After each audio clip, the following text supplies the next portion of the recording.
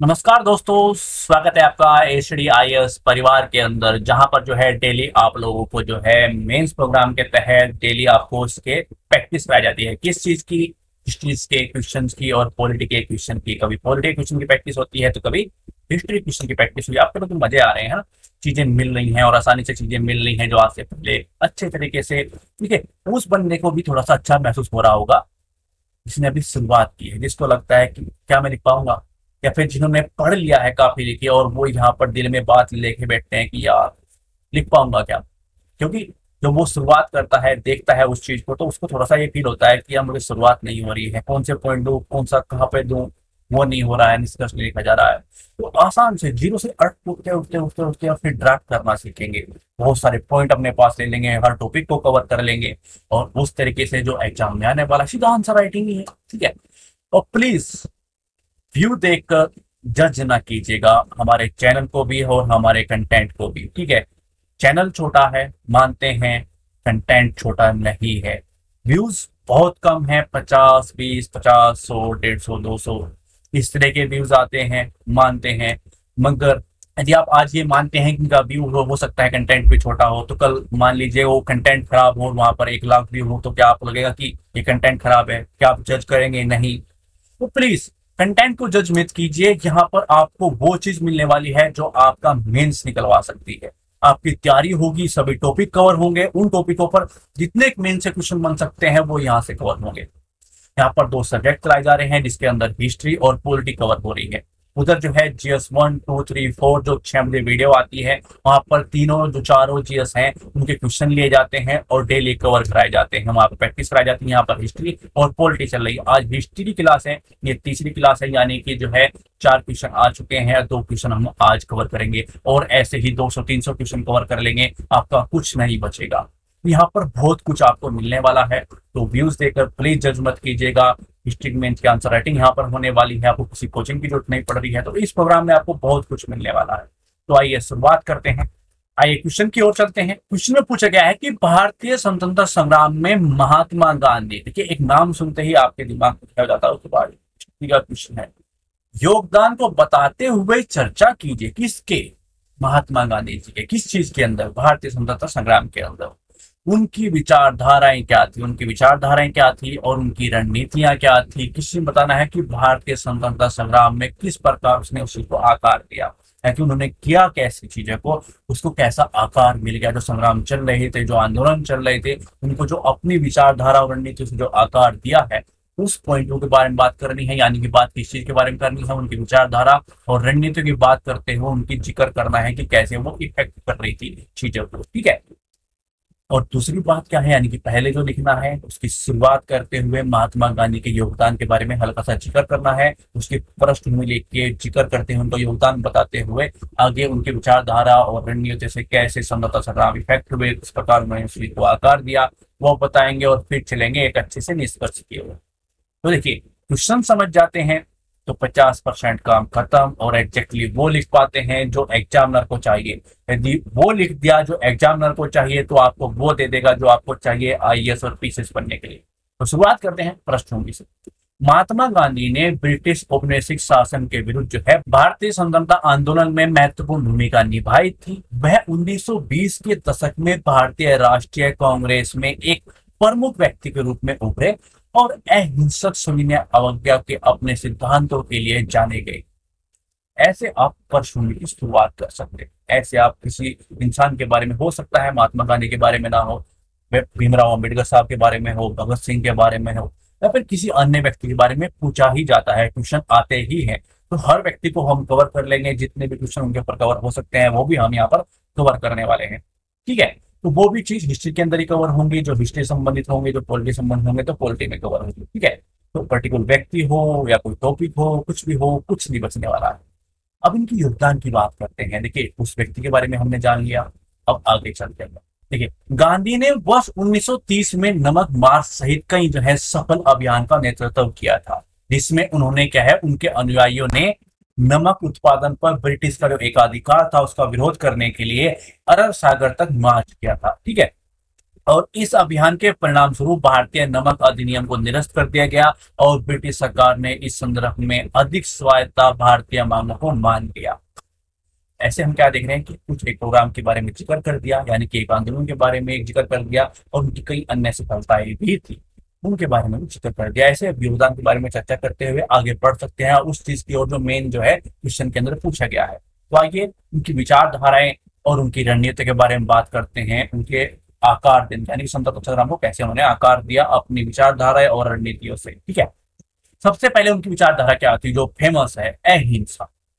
गांधी का अहिंसा का जो दर्शन है, उनकी राजनीतिक और सामाजिक मान्यताओं के मूल में था। ठीक है? उनका मानना था कि हिंसा केवल अधिक हिंसा को जन्म देती है और अहिंसक प्रतिरोध समाज में बदलाव लाने का एक अधिक प्रभावी तरीका है। गांधी के अहिंसक दृष्टिकोण ने विश्व भर में कई अन्य नागरिकों, अधिकारों और मुक्ति आंदोलन को प्रभावित किया। तो हमने एक पॉइंट में बात कर ली। वो क्या थी इनकी विचारधारा? अहिंसा के बारे में बात कर ली। तो अहिंसा पॉइंट टू पॉइंट चले जाएँगे, जो उनके विचारधारा के अंदर जो वर्ड्स हैं वर्ड के रूप में चीज़ों को बताते चलेंगे। दूसरा वर्ड क्या है? सत्याग्रह।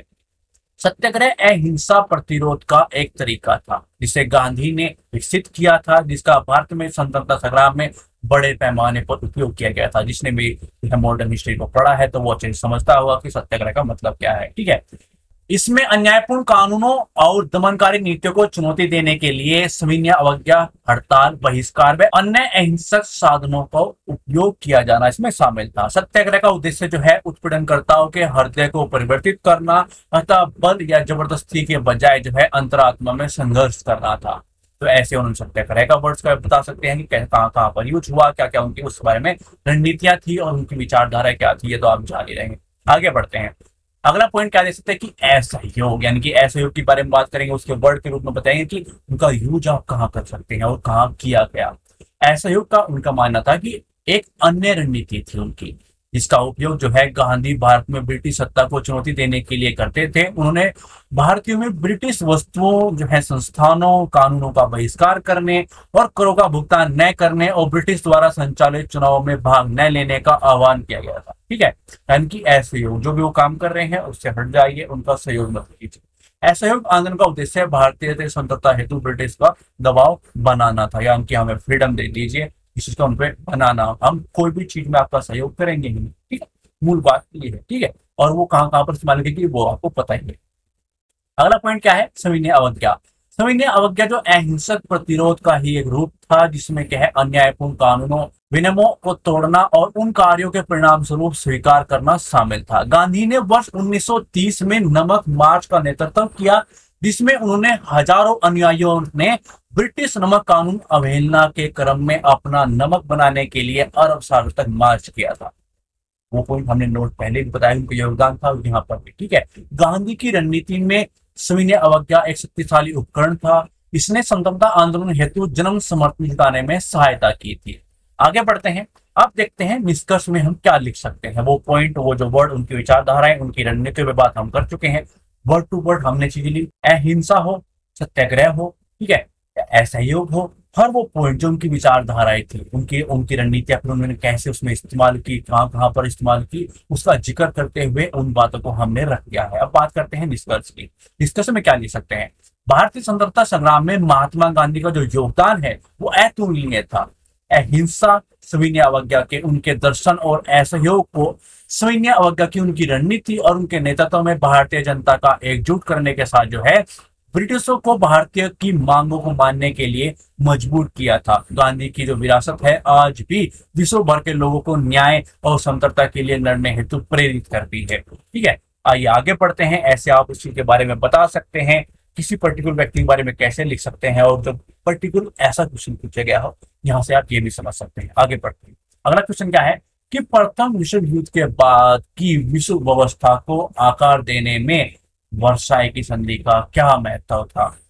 ये एक ऐसा क्वेश्चन है जो बार बार पूछा भी जाता है इस पर्टिकुलर संधि से और एक ऐसी संधि है जो बहुत प्रसिद्ध, ठीक है? तो यहाँ से क्वेश्चन है, यदि आया तो आपके पास इसके पॉइंट होंगे। आगे बढ़ते हैं, इसके प्रश्न में लिखते हैं, कैसे प्रश्न में हम दे सकते हैं।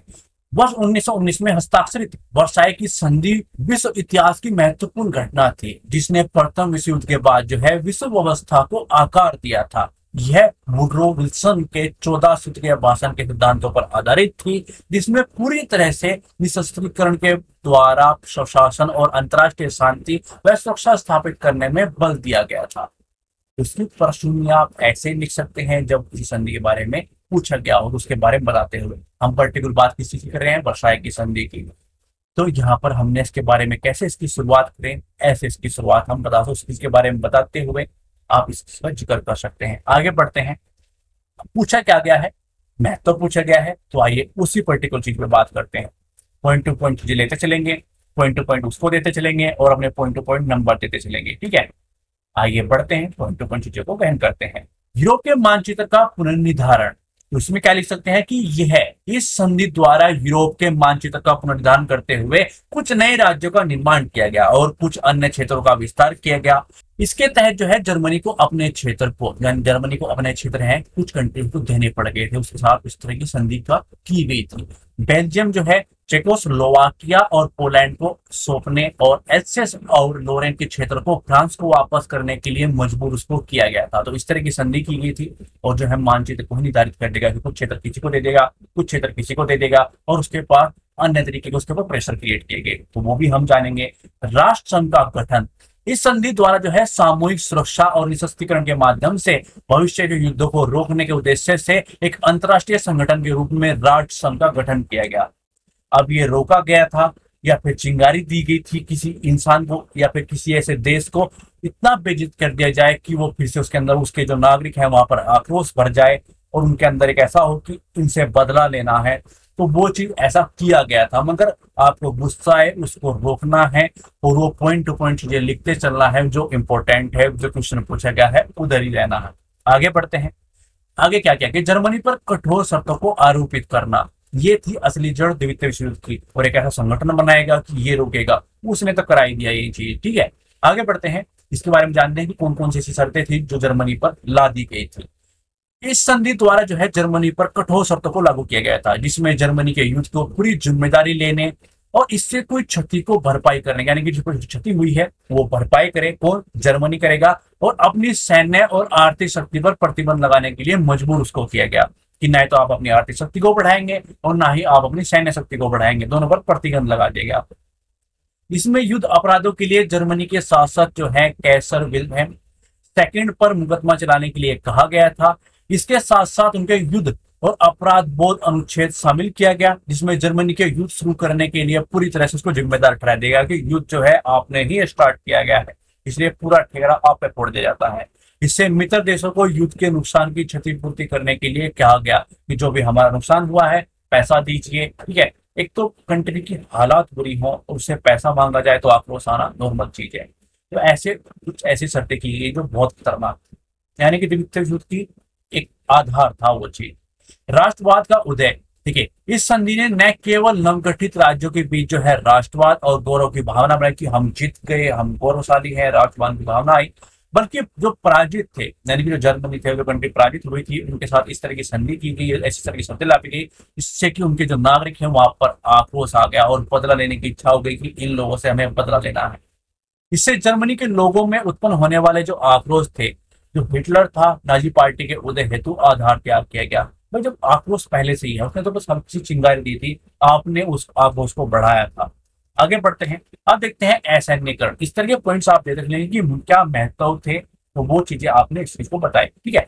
जर्मनी की सैन्य क्षमता को कमज़ोर करने के लिए उसे अपने सशस्त्र बलों को व्यापक स्तर पर कम करने के लिए मजबूर किया गया। नहीं तो आप अपनी आर्थिक शक्ति बढ़ाएँगे, ना ही अपनी जो है सैन्य शक्ति बढ़ाएँगे, आप कुछ नहीं करेंगे। आप आराम से बैठे रहेंगे, जो हमको बताएँगे, वो आप करेंगे। एक मजदूर बना देना किसी जो है संप्रभु कंट्री को तो वो क्या करेगा, वो आप समझ सकते हैं, ठीक है? अब निष्कर्ष कैसे लिख सकते हैं? वो देखिए देखिए, कुल मिलाकर प्रथम विश्व युद्ध के बाद जो है, विश्व जो है व्यवस्था को आकार देने में वर्षाई की संधि महत्वपूर्ण योगदान था। यह जो संधि है, इसकी क्षम करुणा और देशों के बीच में संबंध को बहाली, वो दीर्घकालीन स्तर तक शांति सुनिश्चित करने की इच्छा के इतर भय क्रोध पर आधारित थी, ठीक है? वर्षाई की संधि जो है परिणाम स्वरूप यूरोप में उदित होने वाले क्रांतिकारी राष्ट्रवाद की परिणति द्वितीय विश्व के रूप में की हुई है। तो आप यहाँ पर कैसे चीज़ देखें? ऐसी एक संधि थी जिसने महत्वपूर्ण योगदान दिया, किस चीज़ को, पूरी चीज़ों को ही चेंज कर दिया। वो देख रहे हैं आपकी करुणा बहाली देशों के बीच अपने संबंध बन रहे हैं, मगर जो शांति सुनिश्चित की जा रही है, वो किन आधारों पर की जा रही है? भय और क्रोध के आधार पर, ठीक है? कि हम आपको डर दिखा रहे हैं, अपना क्रोध दिखा रहे हैं, उससे क्या होता है? आक्रोश बढ़ जाएगा, ठीक है? वो गुस्सा आएगा। और वो चीज़ किस चीज़ के ऊपर की गई है? जो राष्ट्रवाद आप दिखा रहे हैं, उसने क्या किया? द्वितीय विषय को जन्म दे दिया। तो ऐसे आप अपनी जो है निष्कर्ष आप लिख सकते हैं। तो हमारा यह प्रयास आपको कैसा लग रहा है प्लीज़ कमेंट कीजिएगा वीडियो को लाइक कर दीजिएगा वीडियो जो है उन लोगों तक पहुँचा दीजिएगा जिनको इस चीज़ की ज़रूरत है। थैंक्स फॉर वॉचिंग धन्यवाद।